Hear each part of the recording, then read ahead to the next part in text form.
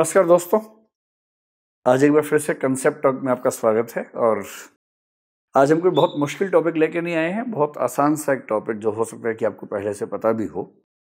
उस टॉपिक का नाम है गणतंत्र, क्योंकि गणतंत्र दिवस है और ये टॉपिक मैंने इसलिए चुना कि मैंने अपने आसपास ऐसे कई लोगों को देखा स्पेशली छोटे बच्चों को देखा, जो इस कन्फ्यूज़न में रहते हैं कि रिपब्लिक डे क्यों होता है? इंडिपेंडेंस डे तो भाई पंद्रह अगस्त को है। तो रिपब्लिक डे अलग से क्यों होता है? और इसी ऐसी क्या ज़रूरत थी? तो जब मैंने देखा कि कन्फ्यूज़न बहुत सारे बच्चों को है, और सच बात तो ये है कि बड़ों को भी है, लेकिन बड़े लोग मानते नहीं है, वो बच्चों का नाम लेके मैनेज कर लेते हैं कि उन्हें कन्फ्यूज़न है। यूपीएससी के एस्पिरेंट्स को तो मेरे ख्याल से बहुत कन्फ्यूज़न इस पर नहीं होता होगा, लेकिन मेरा मन हुआ कि गणतंत्र दिवस पर गणतंत्र के प्रति ज़िम्मेदारी निभाते हुए एक बार थोड़ी सी बात करते हैं कि आखिर ये क्या है? क्यों है? और सच में हम किस सेंस में, किस हद तक गणतंत्र हो पाए हैं? या अभी रिपब्लिक होने में हमें थोड़ा सा और मेहनत करने की ज़रूरत है। तो थोड़ा सा इस कंसेप्ट को समझते हैं। अगर आपको ये सब बातें पहले से पता हैं तो ये आज की बात आपके काम की नहीं है। और अगर नहीं पता है तो आज की बात आपके काम की है। कमेंट में मुझे बताना ज़रूर आप लोग कि आपको ये पहले से सारी बातें पता थी या नहीं पता थी, पूरा सुनने के बाद।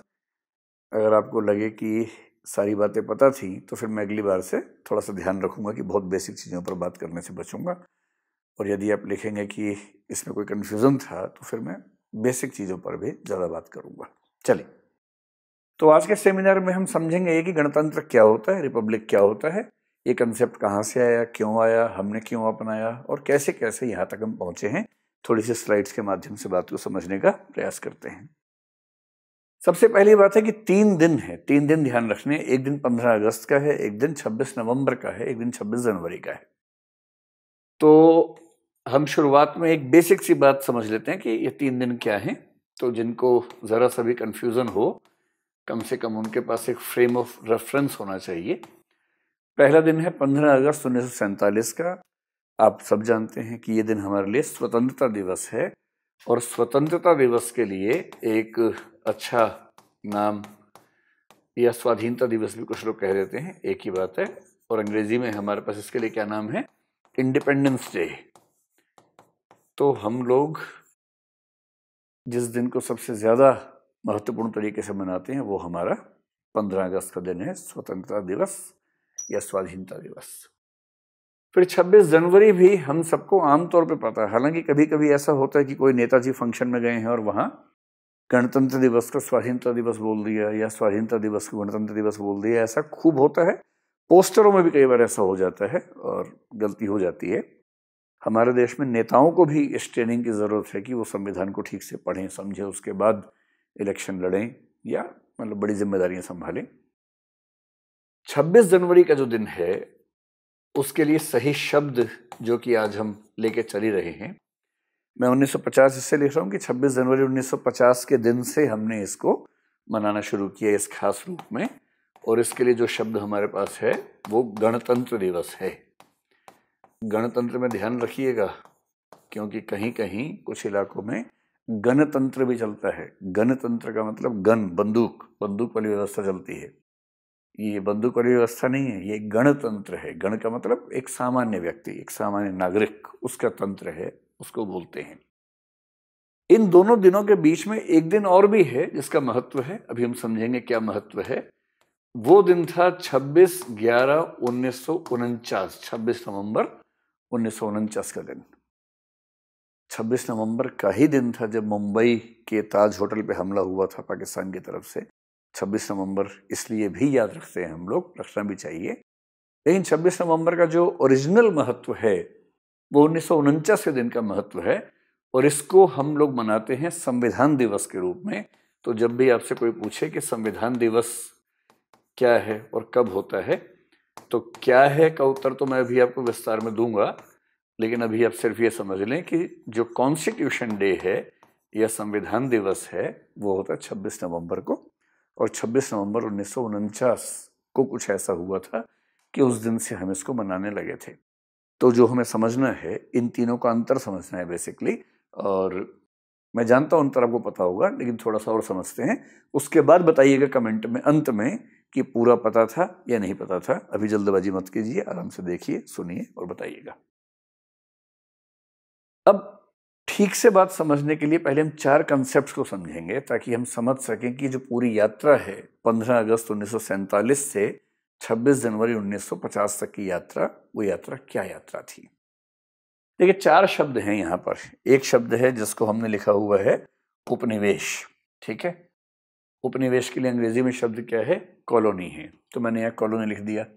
एक शब्द और लिख रहा हूँ मैं यहाँ पर। कॉलोनी शब्द कहें या हम डिपेंडेंसी शब्द कहें, मोटे तौर पर यहाँ इसका मतलब बराबर है क्योंकि जो ब्रिटिश कॉलोनीज थी, उनके लिए शब्द डिपेंडेंसी भी चलता था। चार कंसेप्ट हैं।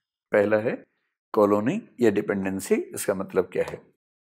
इसका बेसिक मतलब ये है कि एक ऐसा देश है, एक ऐसा स्थान है, जो किसी अन्य स्वाधीन देश के कंट्रोल में है, उसके पूरी तरह से कंट्रोल में है। जैसे ब्रिटेन के बहुत सारी कॉलोनीज थी, बहुत सारे उपनिवेश थे, उनमें से एक उपनिवेश हम भी थे। तो हम लोग 15 अगस्त उन्नीस सौ सैंतालीस से पहले तो मैं यहाँ लिख रहा हूँ अप टू 15 अगस्त 1947 उससे पहले, एक दिन पहले तक, हम क्या थे? हम ब्रिटेन की कॉलोनी थे, हम ब्रिटेन के उपनिवेश थे। और उपनिवेश का सिंपल सा मतलब क्या होता है? कि एक ऐसा देश, जहाँ किसी दूसरे देश ने अपना कब्जा कर लिया है। अब उपनिवेशवाद, साम्राज्यवाद में भी अंतर होता है, अभी हम उस लेवल पे नहीं जा रहे। एक मोटी मोटी सी बात समझ लीजिए कि उस समय तक हमारा पूरा देश उनके कंट्रोल में था। लेजिस्लेटिव पार्ट हो या एग्जीक्यूटिव पार्ट हो या जुडिशियल पार्ट हो, वो सारा का सारा उनके हिसाब से डिसाइड होता था और हमारा पूरे देश का जो पॉलिटिकल सिस्टम था, वो उनके कंट्रोल में था। हमारे रिसोर्सेज भी उनके कंट्रोल में थे, इसलिए हम कहते हैं कि हम उस समय तक उनकी कॉलोनी थे या उपनिवेश थे। फिर उपनिवेश के बाद हमारे पास क्या रास्ते थे? कुछ देश ऐसे होते हैं जिनको बोलते हैं प्रोटेक्टरेट यानी कि संरक्षित राज्य। असल में एक है प्रोटेक्टरेट एक होता है प्रोटेक्टेड स्टेट इनमें भी अंतर होता है, लेकिन अभी हम उस लेवल पर जाने की बजाय मोटी मोटी बात समझते हैं। अगर मैं आपको ये कहूँ कि उस समय जो भारत में देशी रियासतें थीं, उनमें से कुछ रियासतें प्रोटेक्टरेट हुआ करती थी। और और आसान एग्जांपल अगर लेना हो तो 1975 में सिक्किम आपको पता है कि सिक्किम 1975 में भारत का हिस्सा हुआ। उसके पहले सिक्किम भारत के लिए एक संरक्षित राज्य यानी कि प्रोटेक्टरेट था। प्रोटेक्टरेट का मतलब यह होता है कि मान लीजिए एक स्टेट है, हम स्टेट वन मान लेते हैं। यहाँ स्टेट का मतलब कंट्री से, देश से है है ना? यह राज्य का मतलब प्रांत से नहीं है। जो पॉलिटिकल साइंस में पॉलिटी की लैंग्वेज में राज्य का जो असली मतलब होता है वो देश से होता है, जिसके पास संप्रभुता हो सोवरेंटी हो, और पॉपुलेशन हो, और ज़मीन हो, और एक सरकार हो, उसको बोलते हैं स्टेट राज्य। तो मान लीजिए एक है स्टेट वन और एक है स्टेट टू ये स्टेट टू छोटा सा है, उसके पास संसाधन कम है। तो स्टेट बनने का ठीक है भाई, ऐसा है, कुछ चीज़ों में हम तुम्हें मैनेज करेंगे और मैनेज किस चीज़ में करेंगे? एक तो करेंगे डिफेंस के मामले में, यानी तुम्हें अपनी सेना रखने की ज़रूरत नहीं है, तुम्हारी सेना वाला काम हम देखेंगे। तुम हमारे प्रोटेक्टरेट हो, इसका मतलब तुम पे युद्ध, हम पे युद्ध माना जाएगा, हम तुम्हारी रक्षा करेंगे।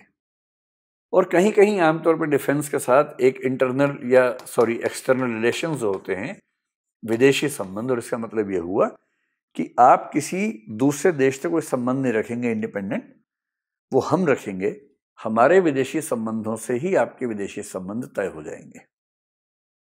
इन दो, और कभी कभी एक आध मामला और होता है, उन दो तीन मामलों को छोड़कर, बाकी मामलों में ये जो एस टू है स्टेट टू है, मान लीजिए, ये स्वतंत्र रहेगा। लेकिन इन दो तीन मामलों में एस वन के अधीन रहेगा। अधीन का मतलब है उसके अधिपत्य स्वीकार करेगा। इसलिए कुछ लोग बोलते हैं कि प्रोटेक्टरेट के मामले में जो सिद्धांत लागू होता है, उसको आधिपत्य का सिद्धांत कहते हैं। मैं एक शब्द यहाँ पर लिखता हूँ। शायद आपने कभी सुना हो। एक शब्द आपने सुना होगा सोवराइंटी या सोवरेंटी एक शब्द है सुजरेंटी सुजरेंटी शब्द का प्रयोग जब करते हैं सुजरेंटी का मतलब संप्रभुता नहीं, आधिपत्य। इसका मतलब यह हुआ कि अगर ऐसा रिलेशन हो कि स्टेट वन स्टेट टू के डिफेंस को, एक्सटर्नल रिलेशंस को, विदेशी संबंधों को कंट्रोल करता है, बाकी मामलों में कंट्रोल नहीं करता है। तो स्टेट वन की सुजरेंटी है स्टेट टू के ऊपर। संप्रभुता नहीं है, किंतु आधिपत्य है। ये खास रिलेशनशिप मानी जाती है पॉलिटिकल साइंस में या पॉलिटिक्स की दुनिया में। अब तीसरा देखिए। एक शब्द है डोमिनियन और आपने अगर भारत की स्वाधीनता का इतिहास पढ़ा है ठीक से तो बार बार ये शब्द आपके सामने आया होगा कि स्वाधीनता के संग्राम में कई बार ऐसा हुआ। कुछ लोगों ने कहा कि हम डोमिनियन स्टेटस से ही खुश हैं। कुछ लोगों ने कहा, ना भाई, हम इससे खुश नहीं हैं। डोमिनियन में फिर एक काम करते हैं, एस वन और एस टू को देख लेते हैं, ठीक? एस वन का मतलब वही, एक ऐसा देश जो ताकतवर देश है, एस टू का मतलब उसकी तुलना में जो कमज़ोर देश है। मान लीजिए एस ने खूब झगड़ा किया और उसने कहा कि हमको भाई तुमसे आज़ाद होना है और अंत में एक सहमति बन गई, सहमति ये बन गई कि एस टू पूरी तरह से इंडिपेंडेंट है, जो कुछ करना चाहे कर सकता है, एस वन इसको कंट्रोल नहीं करेगा। लेकिन सिर्फ़ नाम के लिए ये माना जाएगा कि एस वन के अधीन ही एस टू एक कंट्री है। इसका मतलब क्या हुआ? एस टू की सरकार एकदम स्वतंत्र है, वो अपना कानून बनाए, अपने जजेज रखे, अपना सरकार चलाए, जैसे चलाना चलाए एस वन कुछ नहीं कहेगा। बस डॉक्यूमेंट्स पे ये माना जाएगा कि एस टू जो है, वो एस वन के अधीन चलने वाला देश है। ध्यान रखना है एस टू के विदेशी संबंध भी उसके अपने होंगे एस टू का डिफेंस भी उसका अपना होगा, सब कुछ अपना होगा। केवल नाम मात्र के लिए जो हेड ऑफ़ स्टेट है राज्य का जो प्रमुख है एस टू राज्य का प्रमुख माना जाएगा वही व्यक्ति जो एस वन राज्य का प्रमुख है। एग्ज़ाम्पल लेना हो तो अगर भारत डोमिनियन है तो भारत का राष्ट्र प्रमुख या राज्य का अध्यक्ष माना जाएगा जो इंग्लैंड का राजा या रानी या क्राउन है, उसको माना जाएगा। बाकी किसी मामले में इंग्लैंड की नहीं चलेगी हमारे ऊपर, या ब्रिटेन या यूके की हमारे ऊपर नहीं चलेगी, लेकिन नाम मात्र के लिए माना जाएगा कि ब्रिटेन ही हमारा राज्य प्रमुख है। इस खास स्टेटस को बोलते हैं डोमिनियन स्टेटस, जो हमारे इस पूरे जो बहस हुई हमारी संविधान सभा से पहले भी, और हम कहना चाहिए स्वतंत्रता संग्राम में उसमें शब्द बहुत महत्वपूर्ण रहा है। और अंतिम शब्द है सोवराइन स्टेट। सोवराइन स्टेट का मतलब है जहाँ एस वन का एस टू पर कोई कंट्रोल नहीं है। एस टू पूरी तरह से फुली इंडिपेंडेंट नेशन है फुली इंडिपेंडेंट कंट्री है। एस वन उसके ऊपर किसी भी तरह का नियंत्रण नहीं रख सकता है। ये चार कंसेप्ट हैं। एक बार फिर से याद कर लीजिए। पहली स्थिति एस वन का एस टू पर पूरा कंट्रोल है। इसको बोलते हैं कि एस टू एस वन की डिपेंडेंसी है, या कॉलोनी है, या उपनिवेश है, या साम्राज्य का एक हिस्सा है। दूसरी स्थिति हो सकती है कि एस वन के पास एस टू की डिफेंस का कंट्रोल है, एक्सटर्नल रिलेशन का कंट्रोल है, बाकी आमतौर पे नहीं है, इसको बोलते हैं प्रोटेक्ट्रेट होना। ये स्थिति ब्रिटेन की, भारत की कुछ देशी रियासतों के साथ थी और भारत की आज़ादी के बाद यही स्थिति भारत और सिक्किम के बीच में लंबे समय तक मोटे तौर पर 1975 तक आप कह सकते हैं कि रही थी।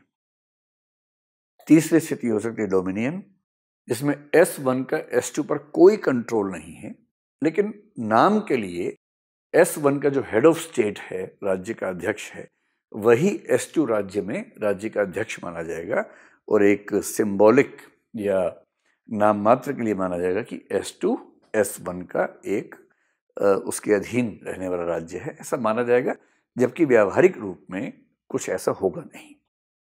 चौथी स्थिति है एस वन एस टू के बीच में कोई कनेक्शन नहीं है।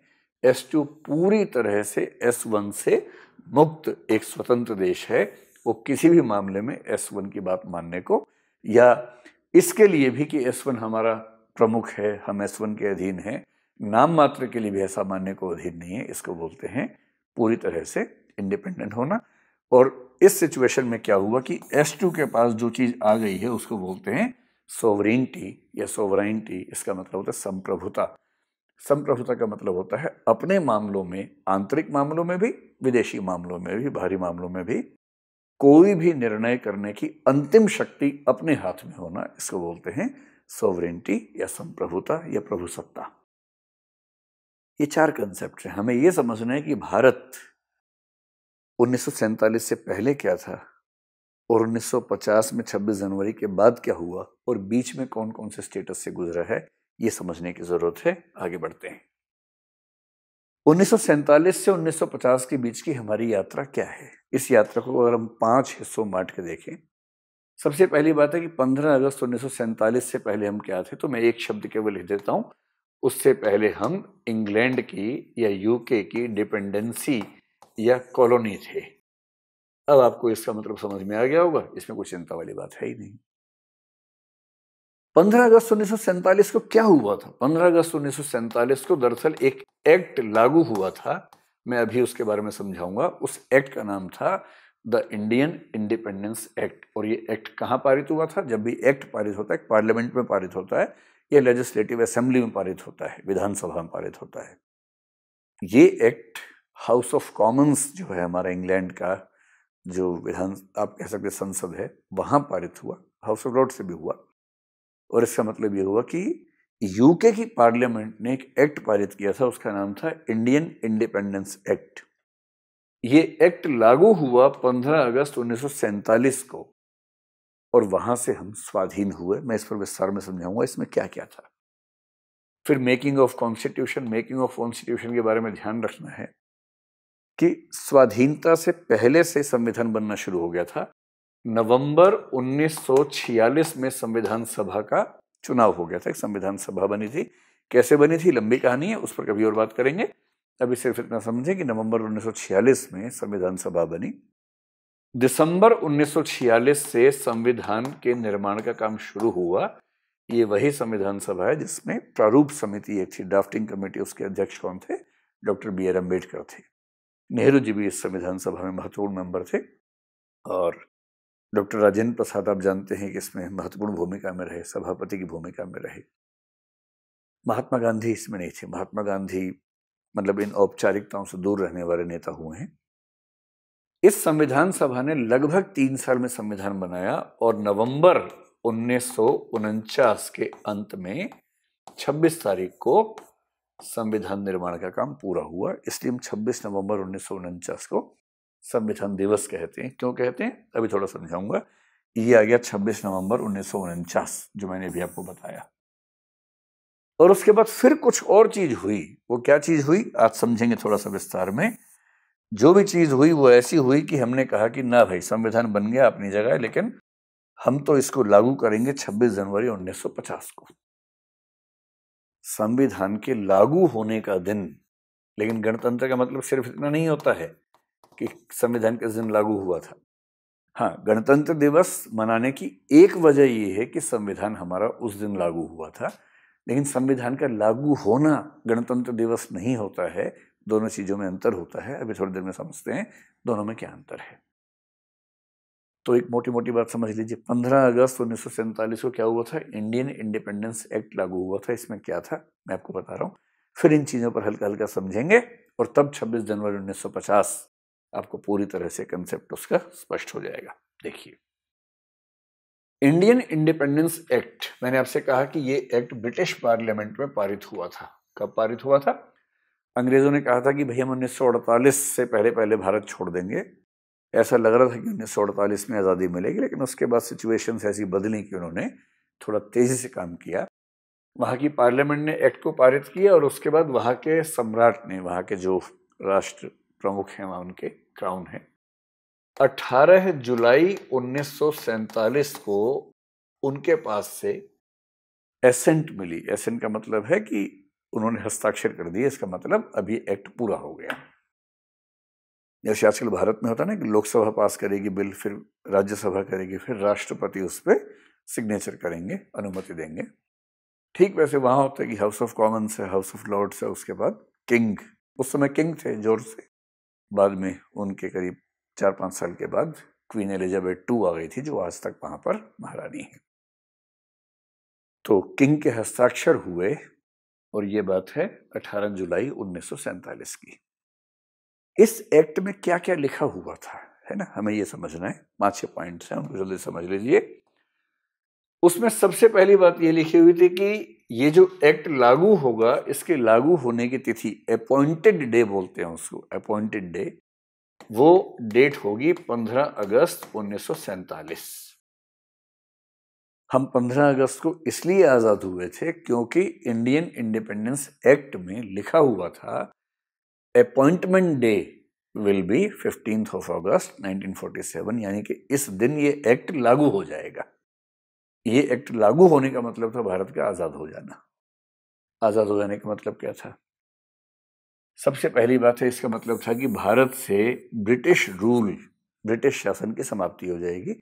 यानी ब्रिटेन, हमारा शासक उसके बाद से नहीं रहेगा, ब्रिटिश लोग यहाँ से लौट जाएँगे। तो ब्रिटिश शासन का अंत पूरी तरह से, पूरी तरह से का मतलब लगभग पूरी तरह से 15 अगस्त को हो गया था।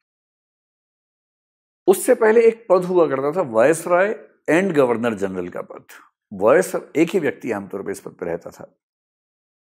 वॉयस रॉय का मतलब होता था, जो व्यक्ति यूके के किंग का प्रतिनिधि बनकर यहाँ पर है। और गवर्नर जनरल का मतलब होता था, जो यहाँ की जो पूरा शासन है, प्रशासनिक व्यवस्था है, उसका प्रमुख है। आमतौर पर एक ही व्यक्ति को रखा जाता था, जो इंग्लैंड के या यूके के किंग का प्रतिनिधि होता था, और प्रतिनिधि होने के तौर पर ही यहाँ का गवर्नर जनरल भी होता था। अब क्योंकि इंग्लैंड का शासन खत्म हो गया, ब्रिटिश शासन खत्म हो गया, इसलिए तय हुआ कि 15 अगस्त के दिन से वॉयस राय का जो पद है, वो समाप्त हो जाएगा। भारत में ब्रिटेन या यूके का कोई वॉयस रॉय यहाँ पर नहीं रहेगा, ये इस एक्ट से हो गया था। तीसरी बात यह हुई कि गवर्नर जनरल का पद कुछ समय तक बना रहेगा। क्यों बना रहेगा? क्योंकि जब आज़ादी मिलती है ना, ट्रांजिशन का फ़ेज़ होता है, अचानक सिस्टम खत्म हो जाएगा तो नया सिस्टम बन नहीं पाएगा। इसे नया सिस्टम बनाने के समय एक संक्रमण काल होता है ट्रांजिशन पीरियड होता है, ट्रांजिशनल फ़ेज़ होता है। उस ट्रांजिशनल फ़ेज़ के लिए माना गया कि गवर्नर जनरल का पद बना रहेगा, लेकिन साथ में एक बात कह दी गई कि जो भारत की सरकार है, एक सरकार आपको पता है उन्नीस सौ छियालीस के इलेक्शन से तय हुई थी, जिसमें नेहरू जी उस समय शासन संभालने की स्थिति में थे। तो जो भारत की कैबिनेट होगी, भारत की जो सरकार होगी, उस कैबिनेट के निर्देश पे, उसकी सलाह पर इंग्लैंड के सम्राट उस गवर्नर जनरल की नियुक्ति करेंगे। और कैबिनेट के सलाह से होगा, ये इंग्लैंड का सम्राट तय नहीं करेगा कौन गवर्नर जनरल है, ये भारत की कैबिनेट तय करेगी। साथ में ये कह दिया गया कि भारत का जो इलाका है, वो दो डोमिनियंस में बटेगा, एक का नाम हो जाएगा इंडिया या भारत और दूसरे का नाम हो जाएगा पाकिस्तान। ध्यान रखना है, दो डोमिनियंस में कह रहा हूँ, और इसका मतलब ये है कि जिस दिन हम कहते हैं कि हम आज़ाद हुए थे, उस दिन दरअसल हम डोमिनियन बने थे। डिपेंडेंसी से डोमिनियन हो गए थे। प्रोटेक्टरेट हम कभी नहीं रहे हैं इंग्लैंड का, ठीक है? हमारे कुछ देशी रियासतें थी, भारत नहीं था। तो 15 अगस्त उन्नीस सौ सैंतालीस को क्या हुआ? भारत, जो कि एक ब्रिटिश डिपेंडेंसी था, अब वो एक ब्रिटिश डोमिनियन हो गया, ये हुआ था उस दिन। स्पष्ट हुई बात यहाँ तक। पाकिस्तान भी डोमिनियन था। और इसमें लिखा हुआ था कि दोनों डोमिनियंस के लिए एक गवर्नर जनरल भी हो सकेगा अलग अलग भी हो सकेंगे, जैसे दोनों की सरकारें तय करें, वो सिस्टम बन सकता है। फिर था कि भाई, इस बीच में शासन चलेगा कैसे? संविधान सभा तो काम कर रही है, संविधान बनने में टाइम लगेगा, जब तक संविधान नहीं बनेगा, तब तक काम कैसे चलेगा?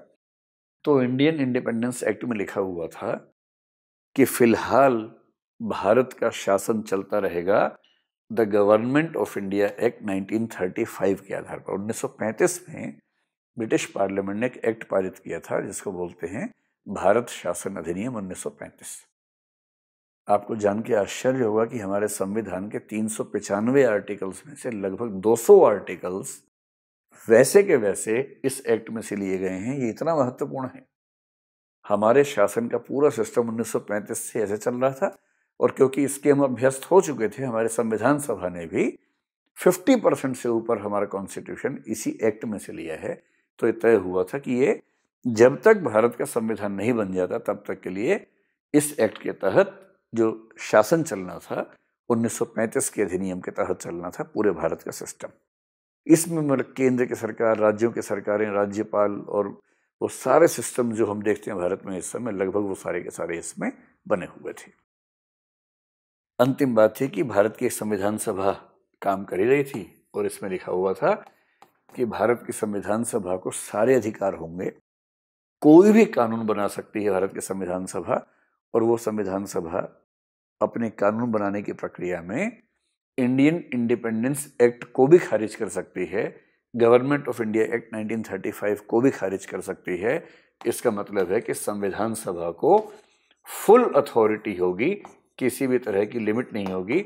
उसे ब्रिटिश सम्राट से कुछ पूछने की ज़रूरत नहीं है। पूरी तरह से संप्रभुता के साथ कॉन्स्टिट्यूंट असेंबली को, यानी संविधान सभा को बनाया गया, ये इस एक्ट में लिखा हुआ था। इस एक्ट के तहत 15 अगस्त उन्नीस सौ सैंतालीस से भारत का शासन शुरू हुआ और भारत का शासन चला किसके तहत? 1935 के भारत शासन अधिनियम के तहत क्योंकि इस एक्ट में लिखा हुआ था कि 15 अगस्त उन्नीस सौ सैंतालीस से भारत का शासन 1935 के एक्ट के तहत चलेगा और भारत क्या बन गया डोमिनियन बन गया। डोमिनियन का मतलब ध्यान रखना है। हम पूरी तरह से इंग्लैंड से आज़ाद हैं, हम पूरी तरह से यूके से आज़ाद हैं, लेकिन भारत का राष्ट्राध्यक्ष, राष्ट्र प्रमुख हेड ऑफ़ स्टेट कौन होगा?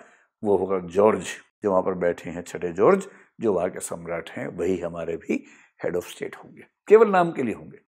कोई फ़र्क नहीं पड़ता उनके होने से, लेकिन नाम के लिए वही हमारे हेड ऑफ़ स्टेट होंगे। ये स्टेटस था हमारा। अब सवाल है कि कॉन्स्टिट्यूशन डे जो है 26 नवंबर उन्नीस सौ उनचास, लगभग तीन साल होते होते हमने अपना संविधान बना लिया।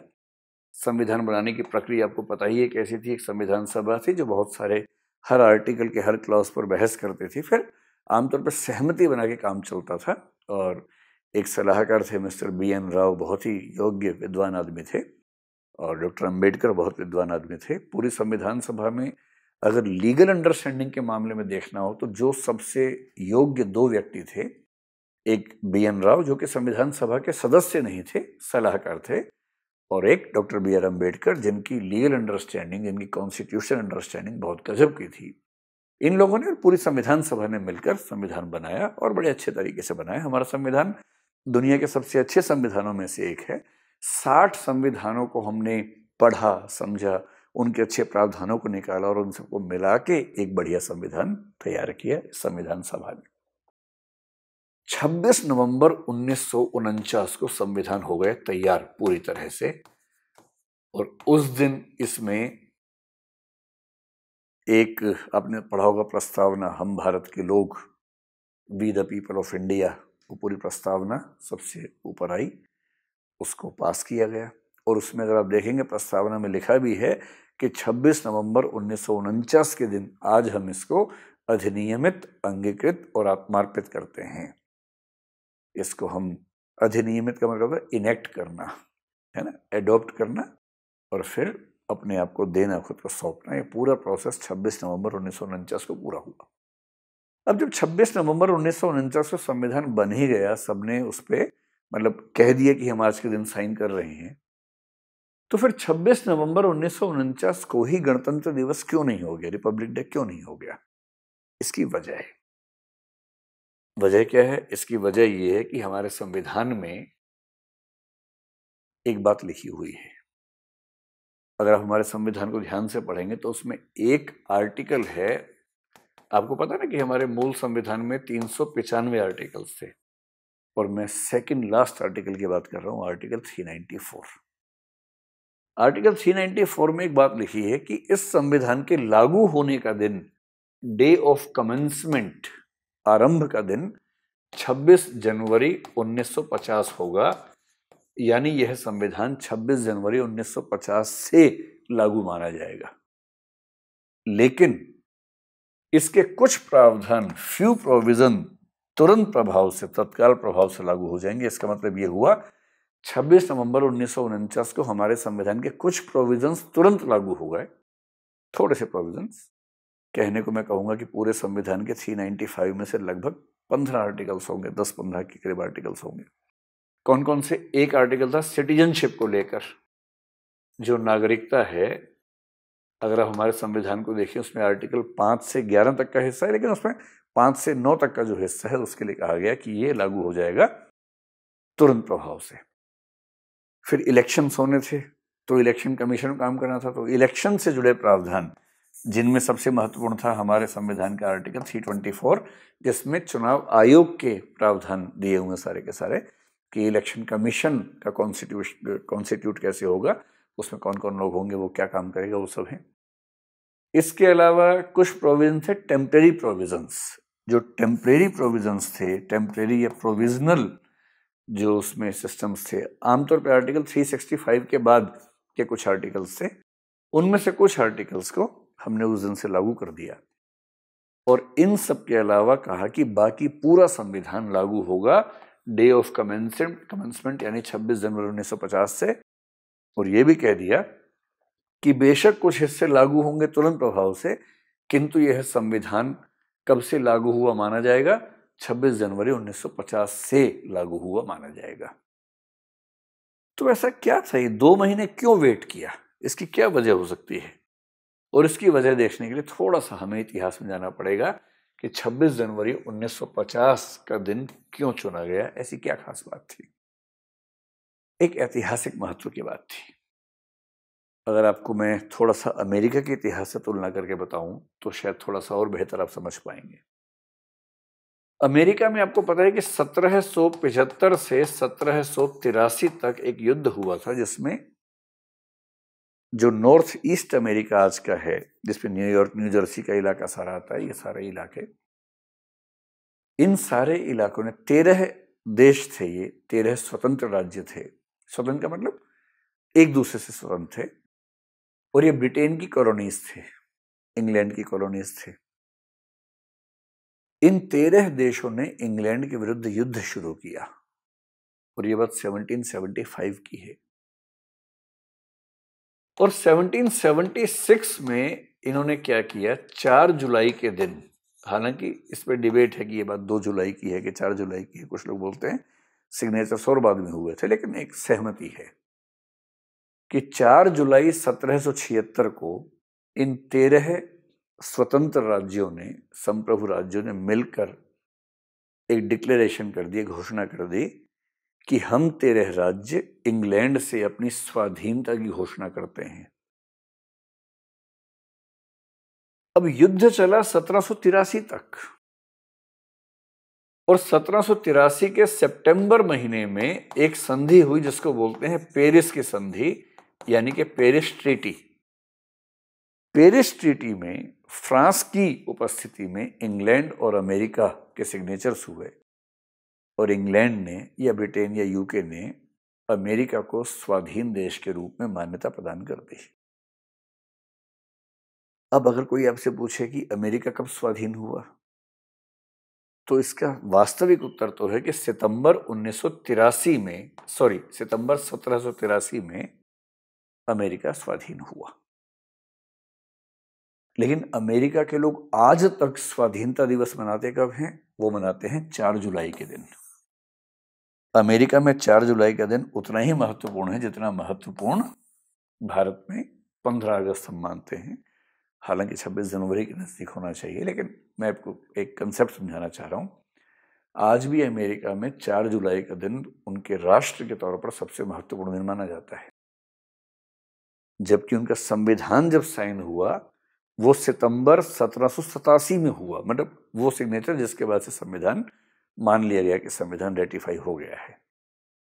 तो सितंबर सत्रह में संविधान फाइनल हुआ सिग्नेचर सितंबर सत्रह सौ तिरासी में वो इंग्लैंड से आज़ाद हुए। कागज़ों पर इंग्लैंड ने स्वीकार कर लिया कि भाई तुम आज़ाद हो गए। पर क्योंकि 4 जुलाई सत्रह सौ छिहत्तर को अमेरिका के तेरह प्रांतों ने या तेरह स्वतंत्र प्रांतों ने, संप्रभु प्रांतों ने मिलकर घोषणा की थी कि हम इंग्लैंड से आज़ाद हैं, हम घोषित करते हैं। उनके लिए सबसे महत्वपूर्ण तिथि चार जुलाई की है, वो अपने आप को उस दिन से ही आज़ाद मानते हैं। अब इस बात को यहाँ लेके आ जाइए। भारत में क्या हुआ कि उन्नीस सौ उनतीस की बात है, कांग्रेस का अधिवेशन चल रहा था। और कांग्रेस का अधिवेशन तो आपको पता दिसंबर के अंत में आमतौर पर होता था।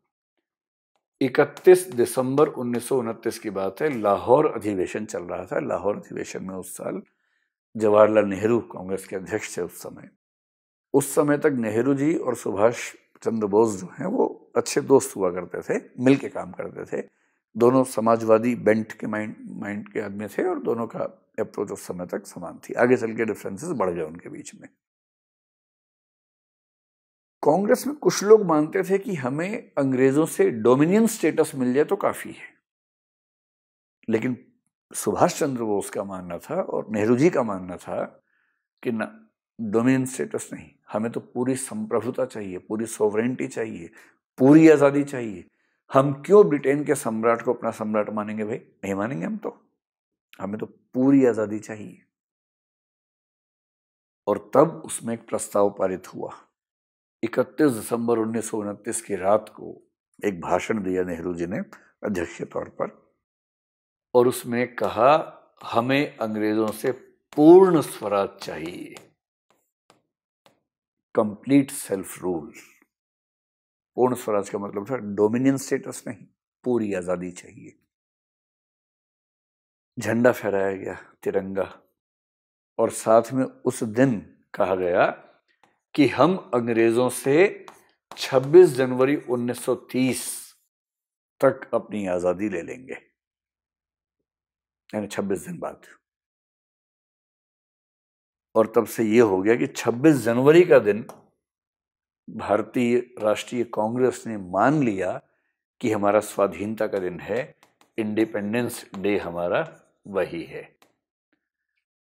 अगर मैं तुलना करके बताऊँ, जैसे अमेरिकी स्वाधीनता संग्राम के दौरान मान लिया गया था कि 4 जुलाई स्वाधीनता दिवस है, जबकि स्वाधीनता मिली इसके मानने के कम से कम सात साल के बाद। भारतीय स्वाधीनता संग्राम में मान लिया गया कि 26 जनवरी हमारा इंडिपेंडेंस डे है। 1930 और 1930 से उन्नीस तक 26 जनवरी का दिन कांग्रेस ने स्वाधीनता सेनानियों ने स्वाधीनता दिवस के रूप में मनाया इंडिपेंडेंस डे के रूप में मनाया। इसलिए इस दिन का बड़ा महत्व था। और क्योंकि इस दिन का बहुत महत्व था, इसलिए संविधान सभा ने तय किया कि इस दिन को एक विशेष सम्मान मिलना चाहिए। और इसलिए 26 नवंबर उन्नीस सौ उनचास को जो संविधान बन चुका था पूरी तरह से उसको लागू करने के लिए 26 जनवरी रखी गई ताकि हम उस ऐतिहासिक दिन का सम्मान बनाए रख सकें। उस दिन हम खुद को गणतंत्र दिवस मानेंगे। उस दिन हुआ क्या? 26 जनवरी 1950 को आखिर हुआ क्या? एक बार ये भी समझना चाहिए, उस दिन ऐसा क्या चेंज आ गया जिससे हम कहें कि हमारे संविधान में कुछ बदलाव आ गए? देखिए गणतंत्र का मतलब एक तो ये होता है कि जो सोवरेंटी है संप्रभुता है वो पूरी तरह से हमारे हाथ में आ गई। हमारे संविधान का आर्टिकल 395 जो लास्ट आर्टिकल है वो रिपील के बारे में रिपील का मतलब है कि इस एक्ट के माध्यम से ये अन्य एक्ट खारिज किए जाते हैं। और अगर आप आर्टिकल 395 पढ़ेंगे तो उसमें लिखा हुआ है संविधान के लागू होने हो, होने के साथ ही इंडियन इंडिपेंडेंस एक्ट उन्नीस और गवर्नमेंट ऑफ़ इंडिया एक्ट 1935 एक बार ठीक से याद कर लीजिए। इंडियन इंडिपेंडेंस एक्ट उन्नीस वही एक्ट है जिससे हम आज़ाद हुए थे। और इस एक्ट में लिखा था कि जब तक संविधान सभा अपना संविधान नहीं बनाती है, तब तक 1935 के इस एक्ट से शासन चलेगा। और पूरी शक्ति संविधान सभा को इस एक्ट ने दी थी कि वो कुछ भी कर सकती है, यहाँ तक कि इन एक्ट्स को खारिज भी कर सकती है, रिपील भी कर सकती है। और वही किया। ये होता ही आमतौर पर।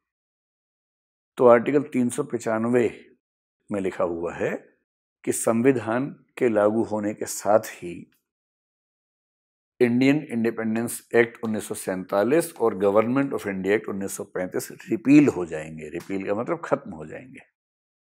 उनका कोई महत्व नहीं रहेगा। वो इतिहास की वस्तु हैं, उनका वर्तमान में कोई प्रभाव नहीं रहेगा, उनका प्रभाव शून्य हो जाएगा, ज़ीरो हो जाएगा। इसको बोलते हैं रिपील करना। अब जब ये रिपील हो जाएँगे इंडियन इंडिपेंडेंस एक्ट कहता था कि भारत ब्रिटेन का डोमिनियन है। ये एक्ट ही खत्म हो गया। और संविधान सभा ने क्या किया? संविधान सभा ने हेड ऑफ़ स्टेट के तौर पर ध्यान रखना है। जब तक संविधान लागू नहीं हुआ, ये वाला आर्टिकल तीन जब तक लागू नहीं होगा, तब तक हमारा हेड ऑफ़ स्टेट कम से कम नाम मात्र के लिए कौन है? किंग जॉर्ज है, इंग्लैंड का सम्राट है। लेकिन 26 जनवरी 1950 को जैसे ही हमारा संविधान लागू हुआ हमारे हेड ऑफ़ स्टेट कौन हो गए? भारत के राष्ट्रपति हो गए। और अंतरिम राष्ट्रपति के तौर पर उस समय हमने चुन लिया था डॉक्टर राजेंद्र प्रसाद को। कैसे चुन लिया था? मैं भी आपको समझाता हूँ, लेकिन 26 जनवरी 1950 को क्या हुआ? संविधान लागू हुआ। संविधान लागू होने का मतलब है आर्टिकल तीन लागू हुआ, जिसका मतलब है कि ये दोनों एक्ट खत्म हो गए। संविधान लागू होने का मतलब है कि उसमें संप्रभुता भारत की जनता के हाथ में आ गई, क्योंकि उसमें लिखा है, हम भारत के लोग ये संविधान भारत को देते हैं, खुद को सौंपते हैं। और उसी का मतलब ये हुआ कि हमारा हेड ऑफ़ स्टेट राष्ट्र का प्रमुख, डॉक्टर राजेंद्र प्रसाद हुए, राष्ट्रपति हुए, अब वो गवर्नर जनरल नहीं थे, ब्रिटिश सम्राट के। अब वो भारत के राष्ट्रपति थे, किसी और राष्ट्र के प्रति जिम्मेदार नहीं थे। इस बात को थोड़ा ठीक से समझने के लिए काम कीजिए ये देखिए कि जो हेड ऑफ़ स्टेट हमारे देश में हुए, उस दौरान वो कौन कौन लोग थे, कब से कब तक थे कौन से स्टेटस में थे? मैंने आपसे पहले ही कहा कि 15 अगस्त उन्नीस सौ सैंतालीस से पहले अप टू फोर्टीन अगस्त 1947 जो पद था, वो था viceroy plus governor general of India viceroy का मतलब क्या है? जो इंग्लैंड के राजा का प्रतिनिधि है। इस पद पर कौन थे? लॉर्ड माउंट थे। एल एम का मतलब लॉर्ड माउंट आपको पता ही माउंट बेटन कौन थे? और लॉर्ड का मतलब वहाँ पर बेसिकली होता है जिसको हाउस ऑफ़ लॉर्ड्स का मेंबर बनाया गया हो, या लॉर्ड की पदवी दी गई हो, उसको बोलते हैं लॉर्ड पंद्रह अगस्त से पहले, क्योंकि हम डिपेंडेंसी थे कॉलोनी थे, इसलिए हमारे पास एक व्यक्ति था, जो गवर्नर जनरल भी था और वॉयस रॉय भी था। पंद्रह अगस्त को इंडियन इंडिपेंडेंस एक्ट लागू हो गया, हम क्या बन गए? डोमिनियन और डोमिनियन का क्या मतलब होता है? कि हमारी अपनी सरकार तय करेगी कि गवर्नर जनरल कौन होगा। लेकिन गवर्नर जनरल जो भी होगा, वो इंग्लैंड के सम्राट द्वारा नियुक्त तो होगा। हालाँकि इंग्लैंड का सम्राट उससे कुछ कहेगा नहीं, कोई कंट्रोल नहीं रखेगा। लेकिन हाँ एक नाम मात्र के लिए कि इंग्लैंड के सम्राट ने नियुक्त किया हुआ वो हो जाएगा। इसलिए 15 अगस्त उन्नीस सौ सैंतालीस से गवर्नर जनरल का पद रह गया वॉइस रॉय का पद खत्म हो गया। और कौन रहा इस पद पर? लॉर्ड माउंट बेटन ही रहे। क्यों रहे? ऐसा माना जाता है कि भारतीय सरकार ने तय किया कि उनको प्रशासन का जो अनुभव है, और उस समय उनके साथ थोड़ी अंडरस्टैंडिंग भी ऐसी थी कि उनके होने से चीज़ें ठीक से ट्रांजिशन में निकल जाएँगे, संक्रमण काल ठीक से मैनेज हो जाएगा। इसलिए भारत सरकार ने तय किया कि लॉर्ड माउंट बेटन को ही अभी इस पद पर रखते हैं। करीब एक साल तक वो रहे। 21 जून 1948 को उनका वो पद समाप्त हुआ, क्योंकि भारत की कैबिनेट और उनके बीच में सहमति थी, वो भी जाना चाह रहे थे उस समय। 21 जून 1948 से 25 जनवरी 1950 तक चक्रवर्ती राजगोपालाचारी भारतीय व्यक्ति थे। लेकिन किस पद पर थे? गवर्नर जनरल के पद पर थे। और गवर्नर जनरल की नियुक्ति किसने की? भारत की सरकार की सलाह पर किंग जॉर्ज ने नियुक्ति की। किसकी? चक्रवर्ती राजगोपालाचारी की कि वो भारत के गवर्नर जनरल होंगे। पाकिस्तान में तो 1956 तक गवर्नर जनरल का सिस्टम चलता रहा, क्योंकि उनका संविधान बनने में टाइम ज़्यादा लगा। हमने संविधान जल्दी बना लिया। तो चक्रवर्ती राजगोपालाचारी भारत के पहले भारतीय गवर्नर जनरल थे, जबकि उससे पहले लॉर्ड माउंट बेटन इंग्लैंड से आए हुए हमारे गवर्नर जनरल थे, और उससे पहले वो viceroy plus governor general थे।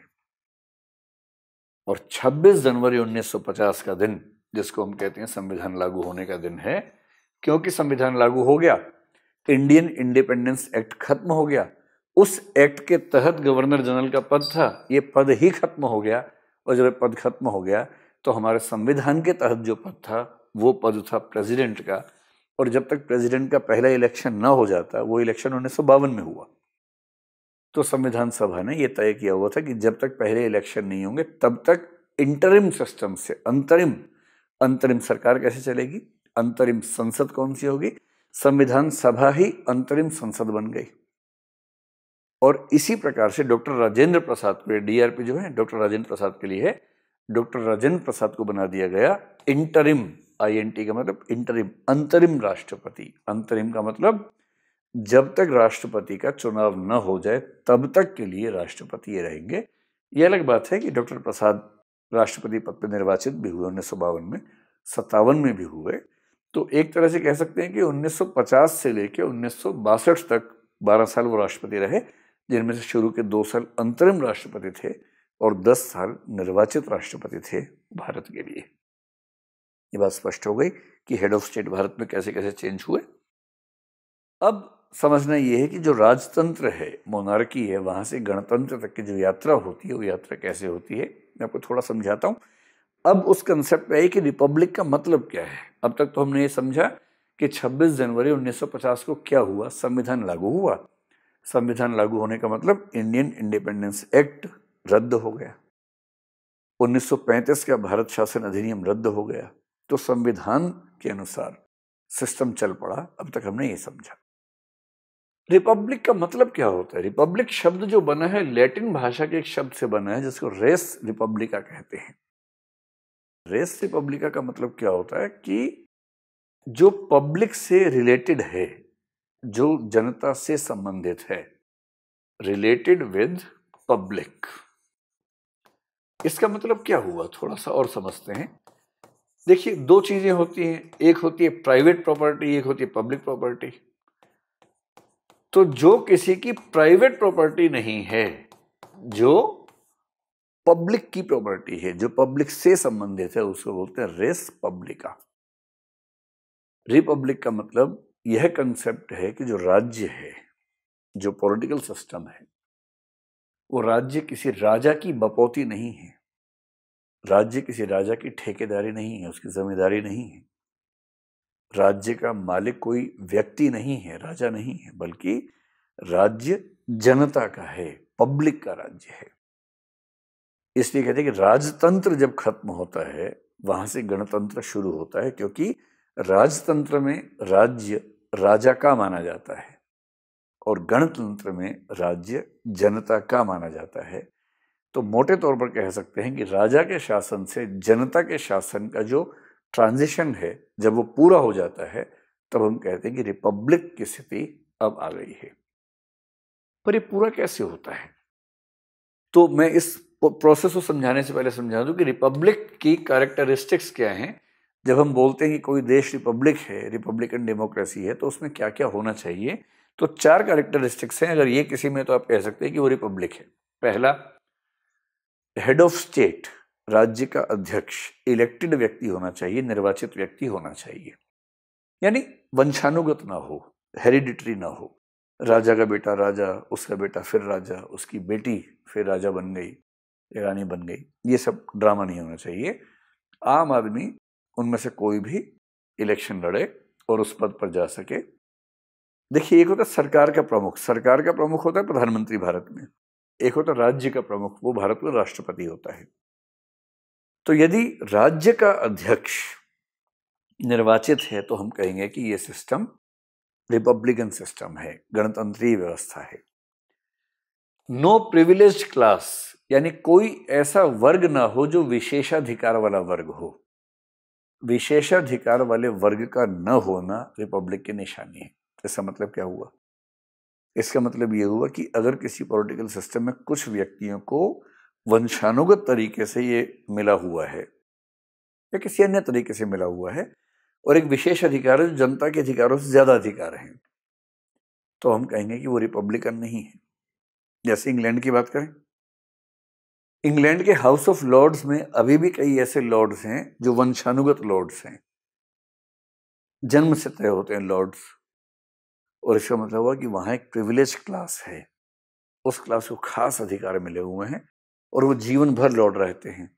पैदा हुए तो लॉर्ड बनना पक्का हो गया उनका। तो ऐसी अगर प्रिविलेज क्लास कहीं है तो हम कहेंगे वो रिपब्लिक नहीं है। रिपब्लिक होने के लिए ज़रूरी है कि किसी भी व्यक्ति को प्रिविलेज क्लास में मौका ना मिले। जैसे अगर भारत में कोई कहे कि हमारे संसद में हमने पचास सीटें फिक्स कर दी, कि भाई पचास सीटों में से दस सीटें तो इस खानदान के लिए हैं, पाँच सीटें इस खानदान के लिए, पाँच इस घराने के लिए हैं तो इसका मतलब ये हुआ कि अब हम रिपब्लिक नहीं है। तीसरी बात। तीसरी बात यह है कि पब्लिक ऑफ़िस फॉर ऑल और इसका मतलब क्या हुआ? जितने भी सरकारी पद हैं, जितने भी सरकारी कार्यालय हैं, यहाँ पद से मतलब है ऑफ़िस से। राष्ट्रपति, राज्यपाल, मुख्यमंत्री, प्रधानमंत्री, कोई और पद है, कलेक्टर का पद है, एसपी का पद है, पंचायत के प्रमुख का पद है, जो भी पद हैं, जो भी राज्य के पद हैं, जो भी स्टेट की तरफ़ से दिए जाने वाले ऑफ़िस हैं डेजिग्नेशंस हैं देश should be open for all वो प्रत्येक नागरिक को उपलब्ध होनी चाहिए, कोई भी नागरिक कंपटीशन देके। इलेक्शन लड़के वहाँ तक आ सके। किसी वर्ग विशेष तक सीमित ना हो, ये एक तीसरी शर्त है। आमतौर पर इन दोनों का एक ही मतलब है, इनको आप जोड़ के भी देख सकते हैं। और अंतिम शर्त होती है पॉपुलर सोवरेनिटी, लोकप्रिय संप्रभुता। इसका मोटा सा मतलब ये होता है कि संप्रभुता जनता के हाथ में होनी चाहिए, किसी राजा के हाथ में नहीं होनी चाहिए, किसी धर्मगुरु के हाथ में नहीं होनी चाहिए। अगर संप्रभुता जनता के हाथ में है तो हम कहेंगे कि वो रिपब्लिक है। अब सवाल है कि राजतंत्र से जो रिपब्लिक तक का सफ़र है, वो सफ़र कैसे तय होता है? एक चित्र में समझाने का प्रयास करता हूँ मैं आपको। देखिए, इसको विस्तार में समझाऊँगा बाद में। इसमें ये वाला जो सर्कल है, ये सर्कल है मोनार्की का, राजतंत्र का। राजतंत्र और लोकतंत्र एकदम अलग नहीं होते हैं, समझने की ज़रूरत है। ये है राजतंत्र। और ये जो दूसरे वाला है, ये है डेमोक्रेसी, यानी कि लोकतंत्र।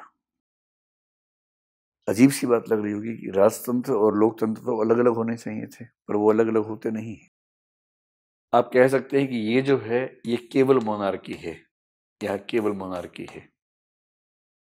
और यहाँ केवल और केवल डेमोक्रेसी है, यह मोनार्की एकदम नहीं है। लेकिन बीच का एक हिस्सा ऐसा है जहाँ पर इन दोनों के शेड्स एक साथ मौजूद हैं और जहाँ दोनों के शेड्स मौजूद हैं, वहाँ पर डेमोक्रेसी और मोनार्की दोनों साथ साथ काम करती हैं। दरअसल मोनार्की से डेमोक्रेसी की तरफ़ आने की प्रक्रिया एक धीमी प्रक्रिया होती है। और इसलिए मैंने इस चित्र में क्या किया है मोनार्की का वो हिस्सा जिसमें डेमोक्रेसी नहीं है, वो मोनार्की है, राजतंत्र है। डेमोक्रेसी का वो हिस्सा जिसमें मोनार्की नहीं है, ये वाला हिस्सा, ये जो है ना थर्ड वाला हिस्सा। इसको रिपब्लिक बोलते हैं। और डेमोक्रेसी और मोनार्की का वो हिस्सा जो कॉमन हिस्सा है, यानी मोनार्की भी इसमें शामिल है डेमोक्रेसी भी शामिल है, उसको हम मोटे तौर पर डेमोक्रेसी कह रहे हैं। लेकिन मैं भी आपको थोड़ा विस्तार में समझाऊँगा कि डेमोक्रेसी किस किस रूप में आती है और उसमें कहाँ जाके हम रिपब्लिकन होते हैं। इस चित्र से आपको ये समझ में आ रहा है कि ये जो डेमोक्रेसी है, डेमोक्रेसी का एक हिस्सा ऐसा होता है जहाँ मोनार्की बनी रहती है, राजतंत्र बना रहता है। और डेमोक्रेसी का दूसरा हिस्सा होता है जहाँ मोनार्की खत्म हो जाती है, जहाँ मोनार्की खत्म हो जाती है, उसी को हम बोलते हैं रिपब्लिक ऐसे नहीं समझ में आएगा। आपको अब अगले स्क्रीन में समझाता हूँ, यहाँ समझ में आएगा। अब देखिए क्या है। ध्यान से समझिएगा एकदम। मोनार्की यानी राजतंत्र। डेमोक्रेसी यानी लोकतंत्र। मोनार्की का मतलब राजा का शासन, राजा का बेटा, बेटी, वो सब राजा बनते जाएँगे। डेमोक्रेसी का मतलब जनता का शासन। इलेक्शन होगा, जो जीतेगा उसका शासन। पर ये सुनने में जितना अलग लगता है ना, होता नहीं है। कैसे? मोनार्की का जो ट्रेडिशनल मतलब है, वो है एब्सोल्यूट मोनार्की निरपेक्ष राजतंत्र या पूर्ण राजतंत्र कह लीजिए। और डेमोक्रेसी का जो लास्ट लेवल है, उसको बोलते हैं रिपब्लिकन डेमोक्रेसी यानी गणतांत्रिक लोकतंत्र। यहाँ से यहाँ तक का सफ़र जो है ना, इसी सफ़र को समझने की ज़रूरत है। अगर कोई आपसे पूछे एब्सोल्यूट मोनार्की का है? इसका सिंपल सा मतलब है, जहाँ राजा के पास पूरी शक्ति रहती है कंप्लीट अथॉरिटी है, उसके मुँह से जो निकला वही कानून उसके जो आदेश हुए वही शासन है, वही जुडिशरी है, वही लेजिस्लेचर है, वही एग्जीक्यूटिव है। कानून बनाना भी उसको है, लागू भी उसे करना है, फैसले भी उसे करने हैं, कानून की व्याख्या भी उसे करनी है, सब कुछ उसे करना है, इतना ताकतवर होता है। सेना भी उसके कंट्रोल में होम मिनिस्टर भी वही, विदेश मंत्री भी वही, सब कुछ वही है। उसने कुछ मंत्री रखे हुए हैं जिस मंत्री से नाराज़ हो, जिस दिन चाहे उसको निकाल दे, निकाल के दे, टंगवा दे उसको फांसी पे, जो चाहे करे। तो जब किसी एक व्यक्ति के पास इतनी शक्ति हो और वह व्यक्ति हेरिडिटरी, वंशानुगत तरीके से सत्ता में आया हो, इसको बोलते हैं एब्सोल्यूट मोनार्की फिर क्या होता है? लोकतंत्र की आंदोलन होने लगते हैं, जनता डिमांड करती है तो बीच में एक स्थिति कहीं कहीं आती है, उसको बोलते हैं मिक्स्ड मोनार्की मिश्रित राजतंत्र। इसका मतलब है कि कुछ शक्तियाँ राजा के पास हैं, कुछ शक्तियाँ जनता द्वारा निर्वाचित विधायिका के पास हैं या पार्लियामेंट के पास हैं। कई देशों में एक लंबे समय तक एक मिक्स्ड मोनार्की जैसी व्यवस्था बनी रहती है। तीसरी व्यवस्था का नाम होता है कॉन्स्टिट्यूशनल मोनार्की संवैधानिक राजतंत्र। इसी का दूसरा नाम होता है मोनार्किकल डेमोक्रेसी राजतंत्रीय लोकतंत्र, इन दोनों का एक ही मतलब होता है। कैसे? अगर आप ध्यान से देखेंगे मोनार्की तो एब्सोल्यूट मोनार्की है। यह मैंने टूटी हुई रेखा बनाई है कि मिक्स मोनार्की में मोनार्की भी है और डेमोक्रेसी भी शामिल है।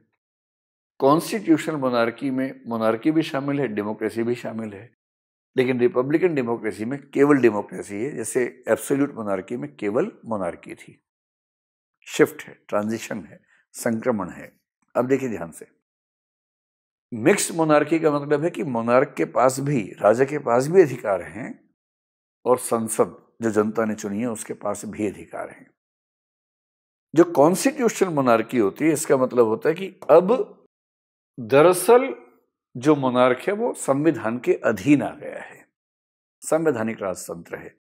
राजतंत्र केवल नाम नाम के लिए बचा है। अब राजतंत्र है नहीं, केवल नाम के लिए बचा है। और इसलिए सब दूसरा कह रहा है मोनार्किकल डेमोक्रेसी कि एक राजा है, राजा का वंश है, लेकिन नाम नाम के लिए है, दरअसल डेमोक्रेसी है पूरी तरह से। और अंतिम स्थिति है रिपब्लिकन डेमोक्रेसी यानी जहाँ राजा है ही नहीं, राजा का वंश है ही नहीं, पूरी तरह से जनता का शासन है, और हेड ऑफ़ स्टेट भी जनता खुद चुनती है, इसको बोलते हैं रिपब्लिकन डेमोक्रेसी मैं एग्ज़ाम्पल देके समझाता हूँ। अगर आज की बात करें दुनिया की तो आप कह सकते हैं कि जो सऊदी अरब है, वो लगभग एब्सोल्यूट मोनार्की की स्थिति में अभी भी है। राजा का शासन है, उसकी चलती है। आप कहना चाहें तो कह सकते हैं कि नॉर्थ कोरिया भी एक सेंस में एब्सोल्यूट मोनार्की के नज़दीक है। हालाँकि कहने को इलेक्शन होता है, वहाँ वो एक अलग तरीका है, लेकिन आपको पता है कि वहाँ उसके पास पूरी शक्ति होती है। एक खास सेंस में आप वेटिकन सिटी को भी एब्सोल्यूट मोनार्की कह सकते हैं, क्योंकि वहाँ जो शासन है, वो पोप का शासन है और उसमें पोप के पास पूरी अथॉरिटीज रहती हैं। तो किसी न किसी सेंस में ये कुछ ऐसे राष्ट्र हैं, देश हैं, जहाँ पर एब्सोल्यूट मोनार्की जैसा कुछ सिस्टम उसके नज़दीक का सिस्टम देखा जा सकता है। मिक्स मोनार्की का मतलब है कि राजा के पास कुछ शक्तियाँ हैं डिफाइंड हैं और बाकी शक्तियाँ पार्लियामेंट के पास हैं। जैसे अगर देखना हो तो जॉर्डन एक देश है जहाँ या ओमान एक देश है, मस्कट जहाँ की राजधानी है। इन देशों में अभी जो सिस्टम है वो मिक्स्ड मोनार्की जैसा सिस्टम है। थोड़ी शक्तियाँ राजा के पास, थोड़ी शक्तियाँ पार्लियामेंट के पास हैं। जो कॉन्स्टिट्यूशन मोनार्की है, इसके एग्ज़ाम्पल सबसे अच्छा तो यूके है इंग्लैंड जिसको हम बोलते हैं। यूके में आपने इतिहास से पढ़ा होगा कि 1688 में एक क्रांति हुई थी, उसको बोलते हैं गौरवमयी क्रांति या ग्लोरियस रिवोल्यूशन या ब्लडलेस रिवोल्यूशन, रक्तहीन क्रांति बोलते हैं। 1688 से पहले या उस दिन तक इंग्लैंड क्या था? ये था, एब्सोल्यूट मोनार्की था। या कह लीजिए मिक्स होने लगा था। और उस दिन जनता ने विद्रोह किया, राजा भाग गया जनता ने राजा के ही घर के दो व्यक्तियों को, बेटी दामाद को, उत्तराधिकारी बनाया और स्पष्ट हो गया उस दिन से कि अब से राजा केवल नाम मात्र के महत्व का है, उसका कोई विशेष महत्व नहीं रहेगा, वो संविधान के अधीन रहेगा, न कि संविधान राजा के अधीन रहेगा। इसको बोलते हैं संवैधानिक राजतंत्र। आपको आश्चर्य होगा कि ये बहुत सारे देशों में चल रहा है, आज तक चल रहा है। जैसे यूरोप तो बहुत हम विकसित इलाका मानते हैं। मैं यूरोप की बात करता हूँ। यूरोप में भी स्कैंडिनेवियन कंट्रीज़ तो सबसे विकसित मानी गई हैं। लेकिन नॉर्वे भी, स्वीडन भी, डेनमार्क भी, ये तीनों देश आज तक राजशाही को ढो रहे हैं अपने ऊपर। कॉन्स्टिट्यूशनल मोनार्कीज हैं अभी भी ये। इतना ही नहीं, अगर इन तीनों को छोड़ दें तो ग्रीस, जो कि एक बहुत विकसित देश अब मानते रहे लंबे समय तक, आज तक राजतंत्र चल रहा है। अगर वहाँ से बाहर निकलूं तो ऑस्ट्रेलिया, न्यूजीलैंड और कनाडा, ये तीनों महाविकसित देश आज भी डोमिनियन स्टेटस के तौर पर काम करते हैं। आज भी इंग्लैंड की महारानी को अपना हेड ऑफ़ स्टेट मानते हैं। कॉमनवेल्थ रल्म्स कहते हैं, लगभग पंद्रह सोलह देश अभी भी इस कैटेगरी में आते हैं, जिनमें ऑस्ट्रेलिया भी है, न्यूजीलैंड भी है और कनाडा भी है। ये तीनों देश अभी भी खुद को यूके के अधीन कम से कम सांकेतिक रूप में डोमिनियन के सेंस में मानते हैं। आज तक राजतंत्र चल रहा है। इन देशों को छोड़ दें भारत के नज़दीक देखना हो तो भूटान को देखिए। भूटान भी एक कॉन्स्टिट्यूशनल मोनार्की है। थाईलैंड में आजकल आप देख रहे हैं, खूब तमाशा हो रहा है। थाईलैंड एक कॉन्स्टिट्यूशनल मोनार्की है। मलेशिया कॉन्स्टिट्यूशनल मोनार्की है। इतना ही नहीं, विकसित देशों में महाविकसित देश एक जापान है। जापान भी कॉन्स्टिट्यूशनल मोनार्की है, वहाँ भी राजा का शासन है। इसका मतलब ये हुआ कि जिन देशों को बहुत विकसित देश मानते हैं, उन बहुत विकसित देशों में से बहुत सारे देश ऐसे हैं जो आज तक राजतंत्र से मुक्त नहीं हो पाए हैं, रिपब्लिक नहीं बन पाए हैं। इनमें से कोई देश रिपब्लिक नहीं है। हम रिपब्लिक हैं और रिपब्लिकन डेमोक्रेसी में कौन कौन आता है? जहाँ हेड ऑफ़ स्टेट भी जनता द्वारा निर्वाचित होता है। यूनाइटेड स्टेट्स ऑफ़ अमेरिका इसका अच्छा उदाहरण है और उसके आसपास अगर लैटिन अमेरिका में देखें ब्राज़ील इसका एक अच्छा उदाहरण है। तो यूएसए है ब्राज़ील है। यूरोप में देखना हो तो यूरोप में आप फ्रांस को देखिए जर्मनी को देखिए इटली को देखिए रशिया को भी अगर आप यूरोप का हिस्सा माने रशिया को देखिए, ये सारे देश, या स्विट्जरलैंड को देखिए, ये सारे देश। और स्कैंडिनेविया में देखना हो तो केवल एक देश फिनलैंड फिनलैंड एक रिपब्लिकन स्टेट है। भारत और भारत के आसपास देखें तो भारत तो एक रिपब्लिकन स्टेट है ही, हमारा देश तो है ही, आसपास भी। पाकिस्तान भी रिपब्लिक है, बांग्लादेश भी रिपब्लिक हो गया है और नेपाल भी अब तो रिपब्लिक है और इसके अलावा श्रीलंका भी रिपब्लिक है।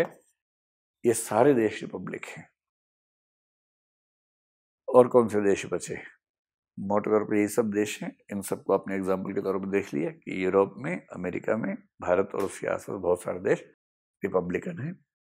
तो भारत में अच्छी बात यह है कि हम इस पूरे कॉन्टिन्यूम में सबसे अच्छे स्तर पे आ चुके हैं रिपब्लिक के स्तर पे आ चुके हैं।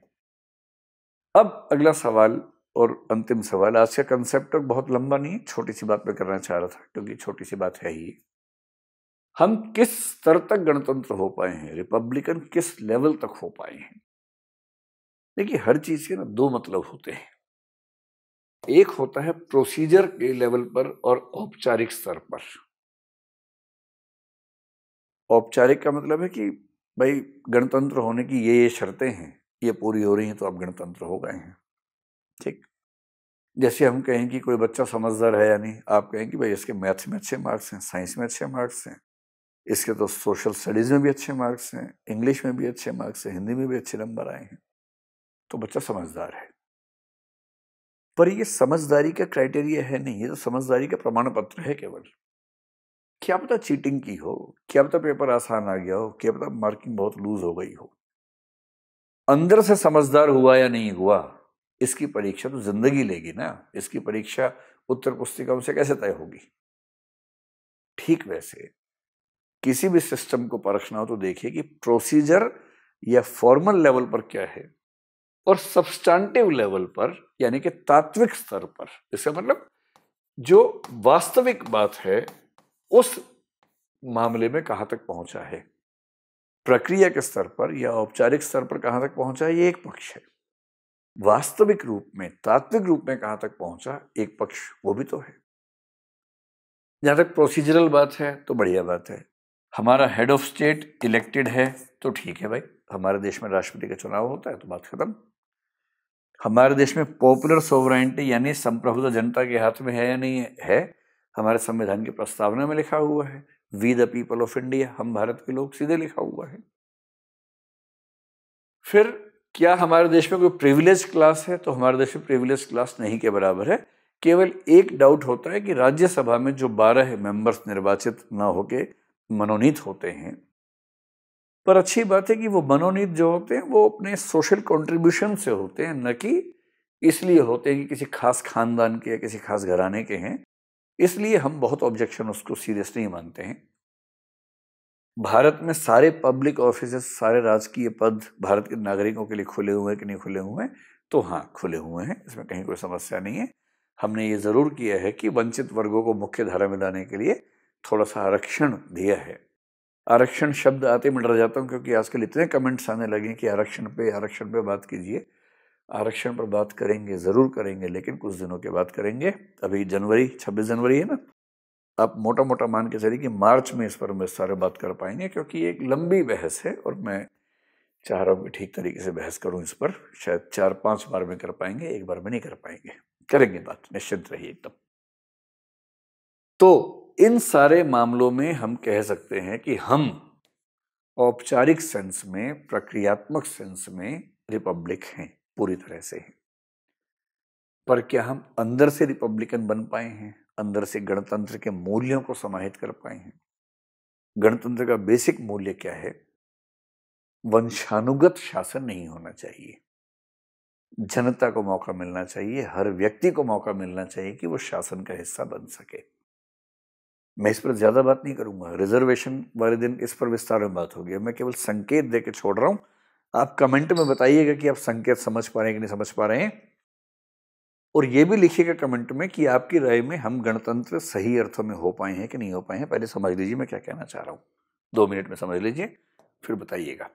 तो हमारे देश में जो पॉलिटिक्स है, सोच के बताइए कि चाहे केंद्र हो, चाहे राज्य हो तीन स्थितियाँ हो सकती हैं। एक स्थिति हो सकती है कि नए नए लोग चुन रहे हैं, अपनी क्षमताओं से, योग्यताओं से आ रहे हैं। एक हो सकता है कि किसी नेता के घर में कोई बच्चा है, किंतु बच्चा पॉलिटिक्स के लिए बहुत योग्य है, इसलिए पॉलिटिक्स में आ गया है। तीसरी स्थिति हो सकती है कि क्योंकि कोई बच्चा नेताजी के घर में हुआ है, इसलिए उसका नेता बनना तय है। केंद्र के स्तर पर और राज्यों के स्तर पर सोच के बताइएगा कि हमारे अधिकांश सीएम और एक हद तक हमारे अब तक के सारे पीएम में से कुछ पीएम क्या केवल अपनी योग्यताओं से आए या उसमें बड़ी भूमिका उनके वंश की थी? और यदि वंश की भूमिका ध्यान रखना है किसी वंश में होने मात्र से हम ये नहीं कह सकते कि इस व्यक्ति को पॉलिटिक्स में आने का हक नहीं है। उसका भी हक बनता है। बल्कि उसके पास तो एक विशेष ट्रेनिंग भी है। इसलिए यदि कोई ऐसी फैमिली से है, पॉलिटिक्स की फैमिली से है और पॉलिटिक्स में आता है तो ये बुरा नहीं है अपने आप में। बशर्ते उस व्यक्ति ने पॉलिटिक्स को ठीक से सीखा हो, उसकी पर्सनैलिटी पॉलिटिक्स के लायक हो। इसलिए कुछ महान नेता ऐसे ज़रूर हैं जो ऐसे घरों से ही आए जहाँ पॉलिटिक्स का माहौल था। लेकिन हर व्यक्ति तो पॉलिटिशियन नहीं बन जाएगा ना।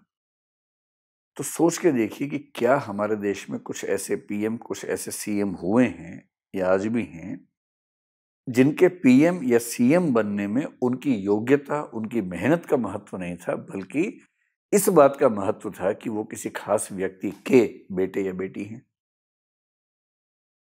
अगर आप काउंट करेंगे तो मेरे ख्याल से भारत के 28 राज्यों में काउंट करते करते और तीन जो यूटीज हैं, जहाँ पर विधानसभाएँ हैं, मेरे ख्याल से इन इकतीस में आप कम से कम 20-22 राज्यों में ऐसे कुछ घराने और ऐसे कुछ वंश, ऐसे कुछ परिवार ढूंढ पाएँगे, जहाँ सत्ता आज भी वंशानुगत तरीके से शिफ्ट होती है।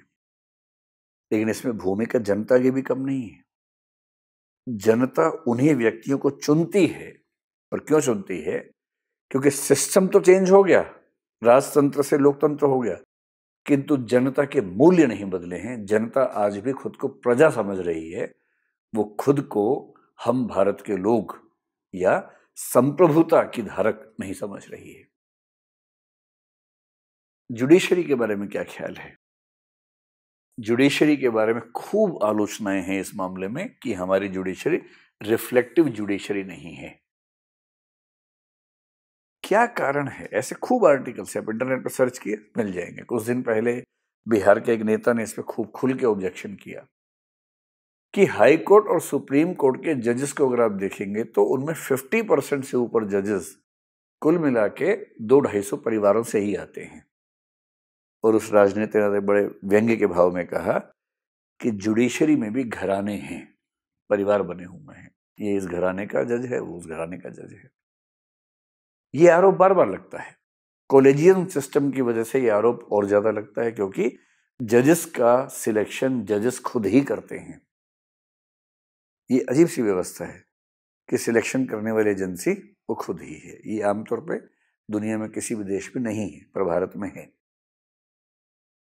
और जुडिशरी के सिलेक्शंस में ऐसे कितने लोग हैं जिनके पेरेंट्स भी जुडिशरी में रहे या उससे मिलते जुलते प्रोफेशन में रहे? किसी बहुत बड़े वकील के घर से कोई जज बना हो या जज के घर से ही जज बना हो। क्या कारण है कि हमारी हायर जुडिशरी में आज भी महिलाओं का अनुपात लगभग दो तीन चार परसेंट के ऊपर बढ़ता ही नहीं है?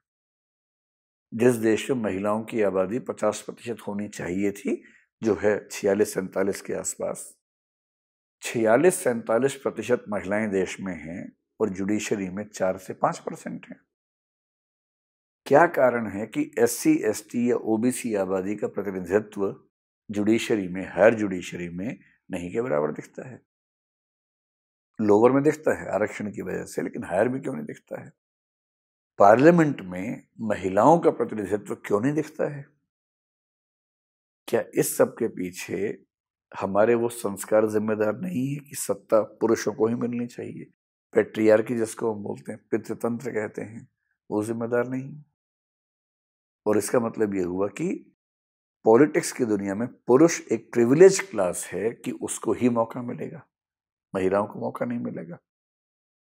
इसी प्रकार से जुडिशरी की दुनिया में महिला होना अपने आप में नुकसान की बात है। S C S T O B C होना अपने आप में नुकसान की बात है, क्योंकि उनको मौका नहीं मिलेगा। और यदि ये सारे सिस्टम्स ऐसे काम कर रहे हैं, इसका मतलब क्या हुआ? गणतंत्र के नियम तो हम पूरे कर रहे हैं, शर्तें पूरी कर रहे हैं, किंतु अभी तक हमारे सिस्टम का जो भीतर का मिजाज है, वो रिपब्लिकन किस्म का नहीं हुआ है। और सोसाइटी के लेवल पर भी तो देखिए, केवल मामला पॉलिटिक्स, जुडिशरी का थोड़ा है। लगभग हर प्रोफेशन में तो ऐसा है कि लोग अपने बच्चों को, अगर देखिए, मैं फिर बार बार कह रहा हूँ कि अगर कोई बच्चा योग्य है, उस प्रोफेशन के लिए बहुत अच्छा है तो उसको आगे आना ही चाहिए। लेकिन दुनिया के हर माता पिता की इच्छा होती है कि अपने बच्चे को सेट करें। यहाँ तक कि दूसरों का हक मार के भी सेट कर दें। सुशांत सिंह राजपूत की जब आत्महत्या हुई, खुदकुशी हुई, तब ये प्रश्न खूब उठा था। मतलब फ़िल्म अभिनेता को भी ये हक बनता है कि वो अपने बच्चे को अभिनेता के रूप में प्रमोट करे। ठीक वैसे, जैसे वकील का बच्चा वकील बनता है तो हम कब मना करते हैं? बिजनेसमैन का बच्चा बिजनेसमैन बनता है, उसी पैसे से, उसी पूंजी से बनता है। हम कुछ नहीं कहते हैं। टीचर्स के बच्चे आमतौर पर एकेडमिक्स में आगे जाने की ज़्यादा संभावना रखते हैं, क्योंकि उनका ऐसा माहौल मिलता है उसमें तो हम कुछ नहीं कहते। और महात्मा गांधी का आर्गूमेंट तो लगभग इसी प्रकार का है, वो तो वर्ण व्यवस्था का समर्थन करके गए हैं, इसी ग्राउंड पर। और मेरे ख्याल से महात्मा गांधी के चिंतन में सबसे कमज़ोर हिस्सा वही है, जहाँ वो इस पक्ष पे आते हैं। बात करेंगे महात्मा गांधी पर भी। कब करेंगे मैं बता देता हूँ, पर कभी ना कभी करेंगे ज़रूर बात। हमारी सोसाइटी में एक सिस्टम है, जिसको बोलते हैं कास्ट सिस्टम, जाति व्यवस्था। और जाति व्यवस्था में सबसे जो बुनियादी समस्या है, वो क्या है? इसमें व्यक्ति का प्रोफेशन उसके जन्म से तय हो जाता है। और यदि हमने ये मान लिया कि व्यक्ति का प्रोफेशन उसके जन्म से तय होगा, जैसे जन्म से तय होगा, ये बात आती है हम रिपब्लिकन मूल्यों से दूर होने लगते हैं। क्योंकि राजा भी जन्म से तय हो रहा था ना पहले। जन्म से तय होने वाला राजा हमने हटा दिया और जनता में से जो नेता चुने जा सकते हैं, वो नेता बनेंगे। कोई भी ऐसी चीज़ जो जन्म से तय नहीं होनी चाहिए, किंतु जन्म से तय हो रही है, अगर वो हमारे सिस्टम में है, हम उतनी मात्रा में रिपब्लिकन वैल्यूज़ से दूर हो जाते हैं। एक अच्छा समाज कैसा होना चाहिए? भाई, ऐसा हो सकता है कि कोई व्यक्ति किसी ऐसी जाति में हो, जिस जाति में लोग आमतौर पे एक खास किस्म का काम करें जैसे मान लीजिए कि ब्राह्मण वर्ण में किसी जाति में कोई बच्चा है। अब एक ट्रेडिशन है कि वहाँ एकेडमिक्स का काम होगा पढ़ाई लिखाई का काम होगा, लेकिन उस बच्चे का इंटरेस्ट पढ़ाई लिखाई में ना हो करके उद्यम करने में है, बिज़नेस करने में है, और क्षमता भी है उसके अंदर। तो बिज़नेस क्यों ना करे? फिर जो बिज़नेस फैमिलीज़ हैं, जैसे अग्रवाल, गुप्ता सरनेम जिनका है, उन परिवारों में यदि किसी बच्चे का बहुत एकेडमिक इंटरेस्ट होने लगे बिज़नेस में इंटरेस्ट नहीं हो रहा उसका, वो टीचिंग का काम क्यों ना करे रिसर्च का काम क्यों ना करे? और इसका मतलब ये हुआ कि जब हम व्यक्ति के एप्टीट्यूड के साथ काम नहीं करेंगे, बल्कि जन्म से तय करेंगे तो हम कहीं ना कहीं एक विशेषाधिकार की तरफ़ बढ़ते हैं और हम उस सिस्टम में जो लोग नीचे रह गए हैं, उनके लिए संभावनाएँ खत्म करने की बात करने लगते हैं। और ये पूरा सिस्टम अपने आप में रिपब्लिकन वैल्यूज़ के पक्ष में नहीं जाता है। ऐसे महिलाओं की बात करके देखिए। अगर सिस्टम ने मान लिया है कि महिलाएँ घर का काम करने के लिए ही हैं, और इसलिए हमारी ब्यूरोक्रेसी में, हमारी जुडिशरी में, हमारी पार्लियामेंट में किसी भी ऊँचे पद पर स्कूल की टीचर को छोड़ के प्रिंसिपल के लेवल पर देखेंगे, आप पाएँगे कि महिलाओं का अनुपात बहुत कम हो जाता है। और महिलाओं का अनुपात कम होने की एक बड़ी वजह हमारे समाज का ये मानना है कि महिलाओं को घर का चूल्हा चौका ही करना चाहिए। ऐसी सोशल वैल्यूज़ लेकर क्या हम सचमुच एक कायदे की रिपब्लिकन वैल्यू सिस्टम बना सकते हैं और ऐसा देश बना सकते हैं जिसमें हर व्यक्ति को अपनी योग्यता, कर्मठता, मेहनत के भरोसे वहाँ तक जाने की आज़ादी हो जहाँ तक उसका सपना है, जहाँ तक उसकी क्षमता है, उसकी हिम्मत है, मेहनत है। और यदि नहीं है तो इसका मतलब है कि हम बेशक नियम के स्तर पर रिपब्लिकन हो चुके हैं। मूल्यों के स्तर पर रिपब्लिकन होने की प्रक्रिया अभी लंबी चलेगी। ऐसा नहीं कह सकते कि नहीं हुए हैं, लेकिन वो प्रक्रिया लंबी चलेगी। आज की बात इतनी ही थी बस, और पूरी बात का निचोड़ क्या है, सार क्या है better than many developed countries हम बहुत सारे विकसित देशों से बेहतर हैं इस मामले में। हम इंग्लैंड से बेहतर हैं, उनके पास महारानी है, उनके पास हाउस ऑफ़ लॉर्ड्स है। हज़ार झंझट है उनके पास। हम स्वीडन से, डेनमार्क से, नॉर्वे से, न्यूजीलैंड से, ऑस्ट्रेलिया से, कनाडा से, हम मलेशिया से, थाईलैंड से बेहतर हैं।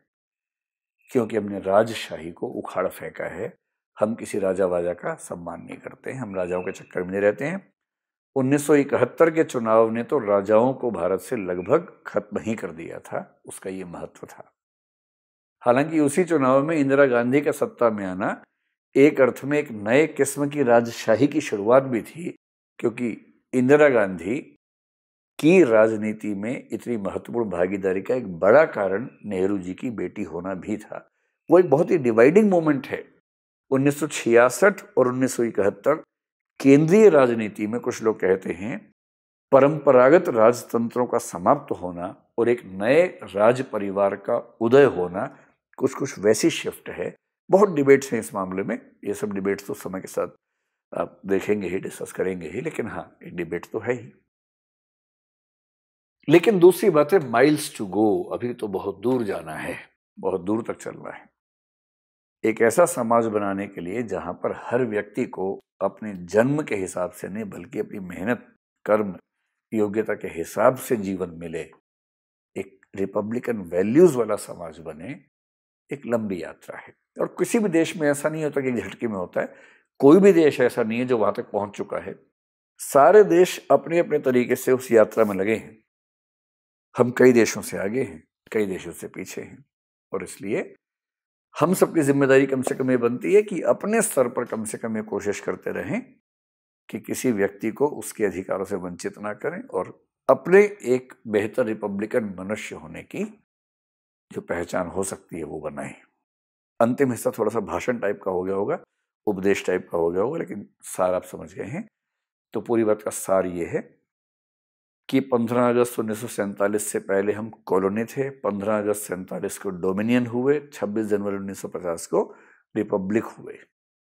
रिपब्लिक होने की सारी शर्तें हम पूरी करते हैं। रिपब्लिकन होने की आंतरिक शर्तें, मूल्य व्यवस्था को पूरा करने के लिए एक लंबा समय लगेगा। सबको लगता है, हमें भी लगेगा। आज की बात यहीं समाप्त करता हूँ। आपके कमेंट्स मैं चाह रहा हूँ कि आप मुझे बताएँ कि ये वाली पूरी बात आपके लिए कुछ नया था या पूरा का पूरा आप जानते थे। एक तो ये बताइएगा और दूसरा ये बताइएगा कि आपकी राय में क्या हमारा सोशल सिस्टम रिपब्लिकन वैल्यूज़ को आत्मसात कर चुका है, इंटरनलाइज या एसिमुलेट कर चुका है? या अभी नहीं किया है। किया है तो कितना किया है, कितना बाकी है, इस पर आपकी क्या राय है? इसके साथ ही आज की बात समाप्त करता हूँ। जल्दी ही किसी नए विषय के साथ मिलना होगा। धन्यवाद। शुक्रिया।